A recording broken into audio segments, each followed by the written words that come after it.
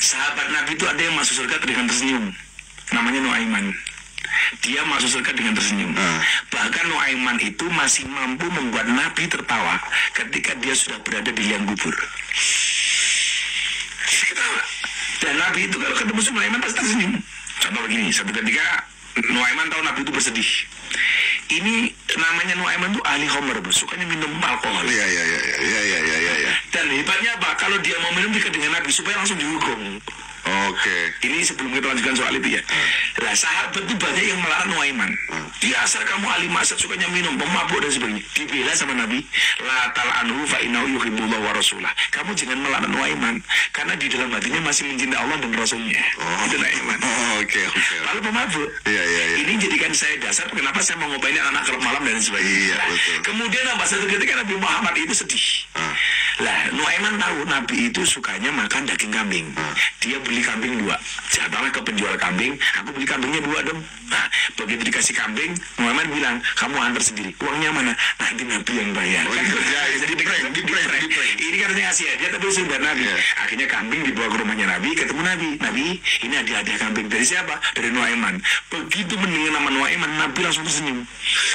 Begitu kambing dikasih, penjualnya tidak pergi. Ditanya sama Nabi, kok kamu gak pergi? Belum dibayar Nabi, benar ini hadiah dari Nuaiman, tapi yang bayar Nabi.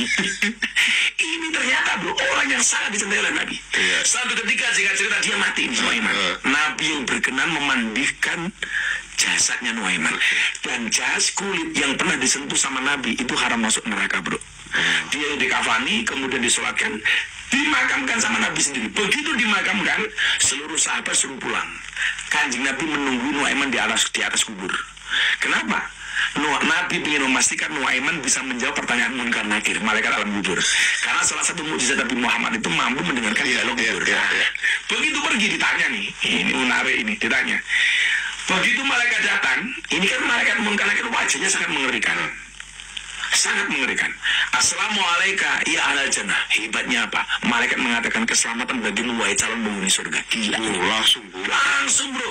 Coba nanti kalau di dalam kubur Assalamualaikum ya ahlal jannah. Waduh, gila itu. Kemudian ditanya sesuai dengan jawabnya malaikat ya. ada Iya, jawabnya. BAP nih. Di BAP ya. Siapa Tuhanmu? Dijawab sama Nuaiman.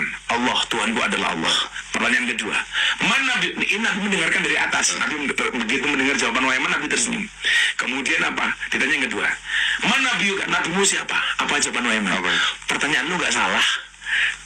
Karena Nuaiman merasa dia tiap hari sama Nabi kok ditanya ini. Ini paling gila loh, gue tiap hari sama Nabi. Iya, iya, iya. Nabi mulai mendengar serius. Ditanya lagi.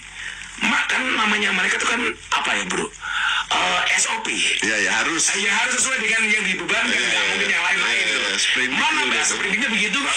Mana Nabi Nabi mungkin apa? Ditanya lagi. Lu nggak salah pertanyaannya. Sampai ketiga kalinya malaikat semakin keras. Mana Nabi kan? Nabimu siapa? Apa jawaban Nuaiman? Apa itu? Jangan keras-keras, orangnya masih di atas. Mendengar jawaban itu Nabi tersenyum bro. Lah, artinya apa coba?